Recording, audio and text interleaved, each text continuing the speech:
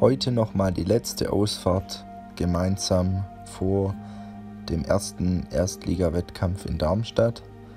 Auf dem Programm standen 4 mal 10 Sekunden Sprint und 3 mal 1 Minute bei 300 Watt.